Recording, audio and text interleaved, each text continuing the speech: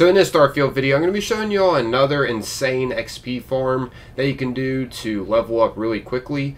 And this will also help boost up your skills too. This is an XP farm for those of you that don't like to craft the adaptive frames over and over. So yeah, let's go and get into this. Hope you all find this video enjoyable. And if you do, consider taking a little bit of your time sometime during this video and leaving a like on it. The support is greatly appreciated. First things first, I just want to mention that I'm not the one that came up with this experience farm. I'll have a link in the description to the person who I first discovered this from. Feel free to check them out sometime. I gotta give credit where credit is due. But uh, yeah, as you can see, here is the experience farm in action.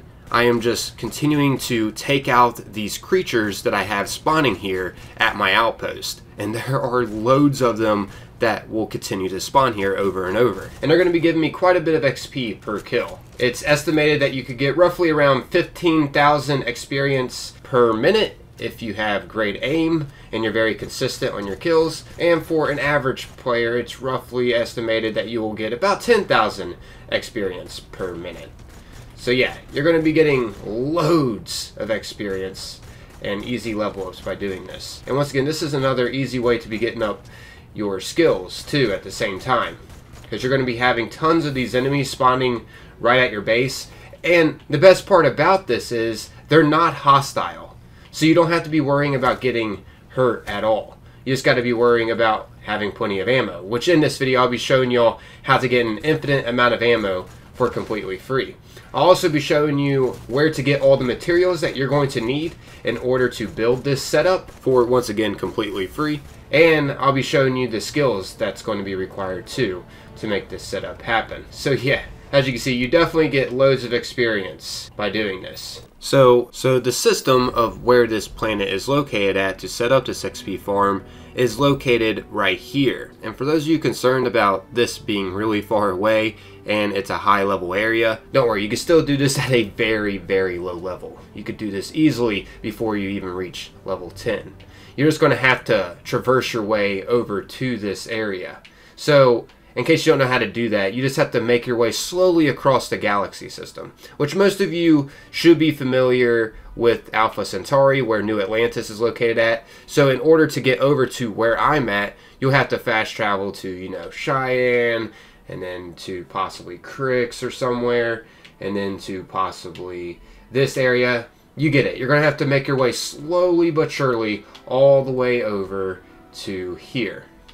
Once again, the location is called Pyrus, I believe. But yeah, once you're here, you then want to head over to this area. Whoops.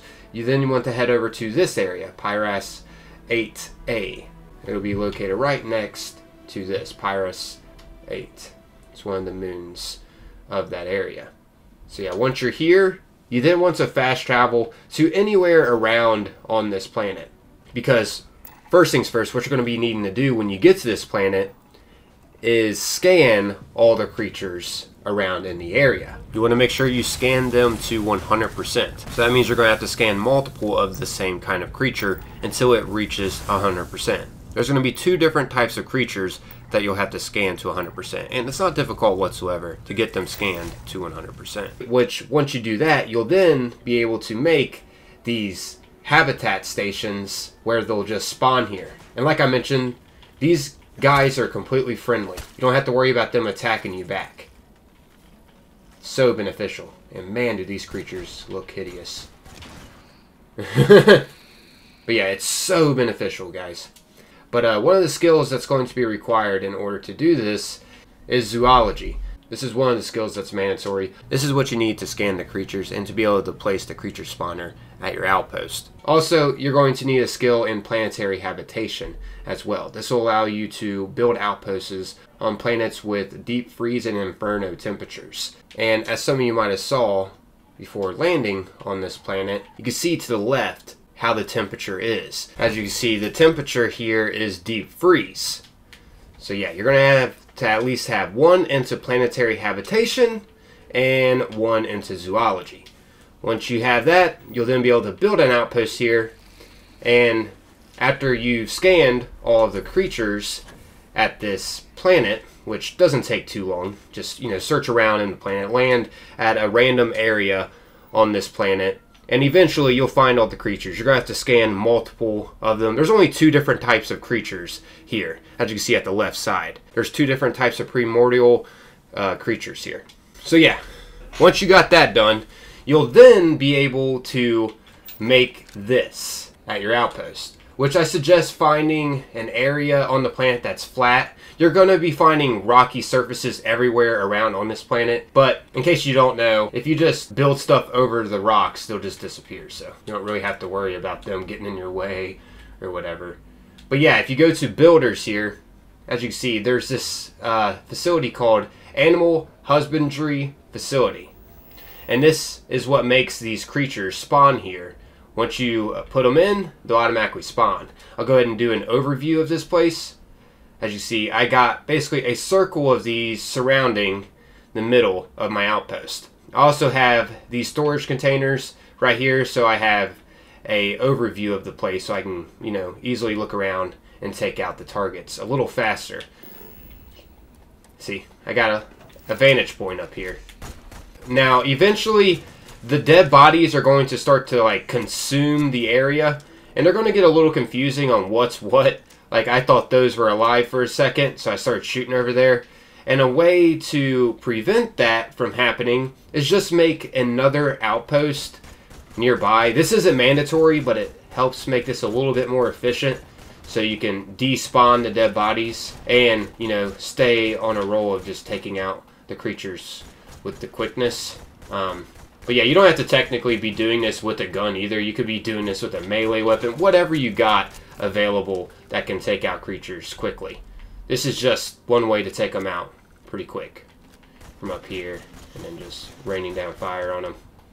But yeah, uh, one suggestion is to make another outpost nearby. As you see, I have another outpost over there set up the exact same as this one.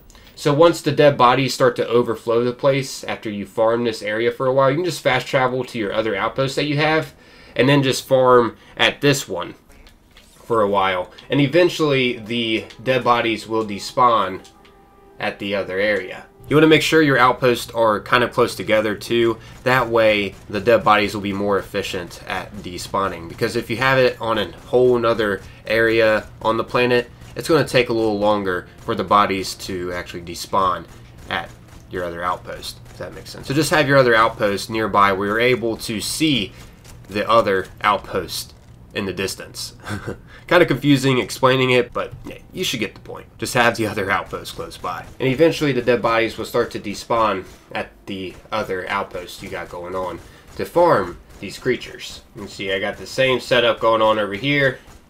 Now I don't have to be worrying about wasting my ammo at dead bodies. I can just simply rain down fire at them. Now it's totally up to you. If you want to have them further away, you can. I prefer them closer up, so I made, at my other outposts, the buildings are a little closer. This one, they're a little further away. It all depends on your play style. Alright, another level up that quickly. So, now let's go ahead and get into the materials that you're going to need and how to get an infinite amount of ammo.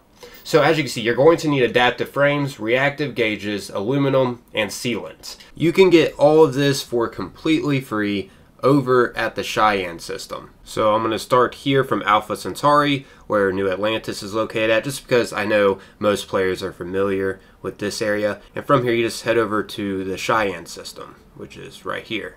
And then once you're here, you then want to go to the Akila planet and then fast travel to the Akila city. There's a really easy glitch to do here to get all of the materials that's required for completely free and as well as ammunition for completely free too. So you can just stock up as much as you need from doing this glitch. Now once you're here, you just want to head into town by going this way and you can find a secret chest within a puddle over here. And this chest contains so much stuff, not only ammunition, as you can see. You'll get a free 5,000 credits each time you loot this, and there's tons of resources as well that you can get from here too. So yeah, if you head over to this chest, you can find the adaptive frames that you're going to be needing, the aluminum that you're going to be needing, as well as the sealant that you're going to need, and the reactive gauges. So you can get everything from this chest for completely free. You don't have to waste any money whatsoever. Also, you can get ammunition too, most importantly. So yeah, go ahead and pick up ammo that you need. Actually, oddly enough, ammo doesn't weigh anything, so you can just pick up all the ammo. You don't have to worry about your carry weight with that. And you can even find med packs and whatnot from this chest too. I mean, you can find all kinds of good stuff, including ship parts and stuff like that. But anyways, once you get what you want from this chest, to reset it, you're going to have to wait 48 hours on this chair here. So you'll be able to pick up the adaptive frame, sealant, aluminum, and reactive gauges again to stock up on those so you can build more of those creature spawners at your outpost to do the XP farm, and you'll be able to pick up more ammunition too. But there's an important step after you wait the 48 hours. You want to make sure you talk to the vendor inside here. You want to make sure you trade with them.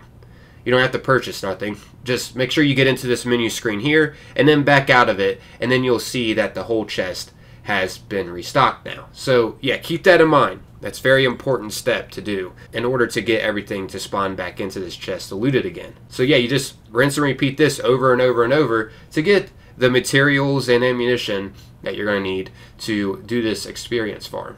It's literally that easy, guys. But yeah, I guess that's not wrapping up this video. And as a reminder here at the end, consider taking a little bit of your time and leaving a like on this. The support is greatly appreciated. It'd be awesome to see this surpass, I don't know, a thousand likes or something. But as always, that's totally up to you if you want to take the time to do so. Just leave a reminder here once again at the end. I'm out of here though. Thanks for taking the time, watching, and listening. Until next time, peace